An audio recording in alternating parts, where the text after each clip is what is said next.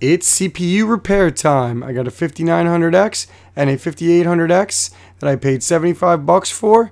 What's wrong with them? Well, I've got about 30 to 40 bent pins in each of them, and the 5800X has a broken pin. So let's get to it. How I'm going to attempt to film my pin repair. Uh, I will be repairing it under there, and hopefully I'll be able to get a good angle with this setup right here. So we're going to start with the bent pin one first, which is the 5900X. Um, I'll try to move it to the other view so you can see how many bent pins. And then I eventually have to go turn my hot air station on to repair the next one. So let's get started with the 5900X. All right, so this is the two. These are the tools I use. I use a screwdriver and an X-Acto knife. I like to use the X-Acto knife blade for when I have like you know 10 to 20 pins in a row that are bent, or if there's definitely more than one.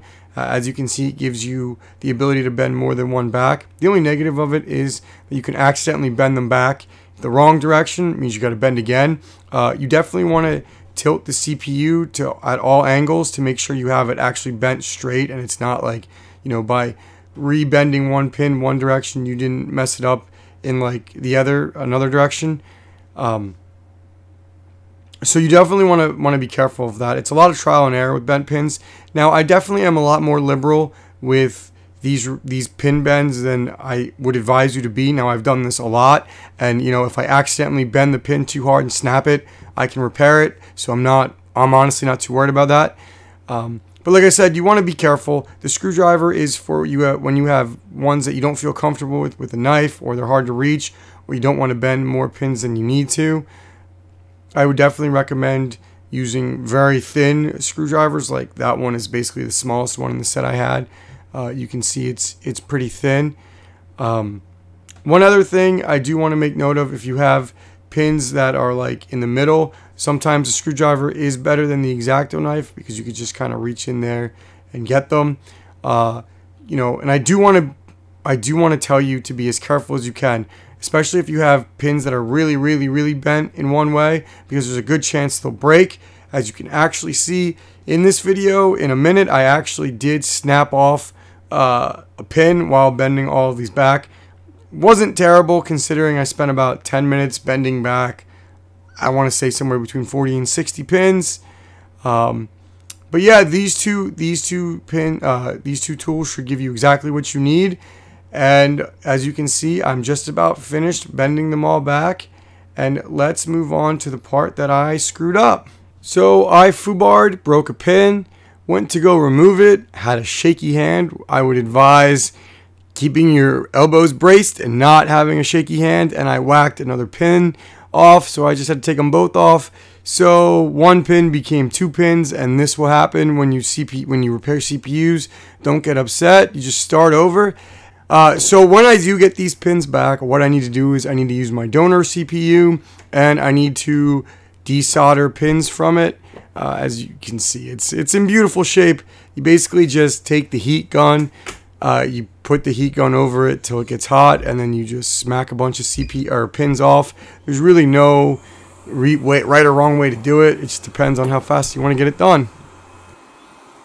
Alright, so you can see I just finished repairing it. I resoldered the two pins back on. The only way you can tell it was repaired is by the flux stain. So let's get it popped in the test bench, which is just a gutted Alienware that I just keep to test Ryzen 5s. Um, and you can see that it posts took me, I want to say, about 45 minutes ish, maybe 50 minutes when everything was said and done to get this thing fully repaired. It's going to go in my test bench to replace my 5600X. So now let's move on to the 5800X. All right, so here we've got the Ryzen 5800X. Uh, this one had about, I don't know, maybe like 20 to 25 ish bent pins, and it also had a broken pin that I knew going into it.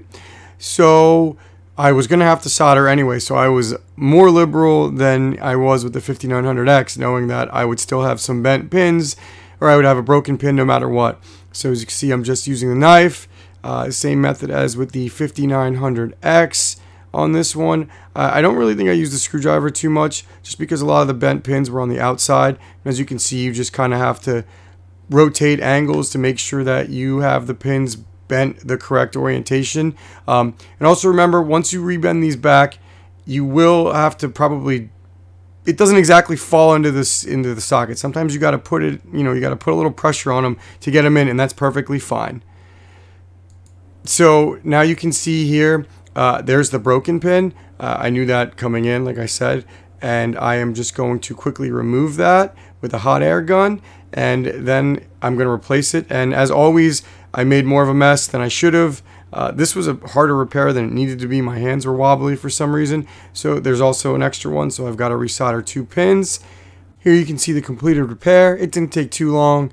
Uh, maybe like 15 20 minutes to get the two pins soldered back on so let's go ahead and put it in the test bench and see if it works all right so we've got my uh, VM machine I kind of rigged up uh, and as you can see it works and it posted I'm pretty happy with the results. Uh, the 5900X and the 5800X total probably took me about two hours ish, maybe like two hour and a half hours when everything's said and done to repair.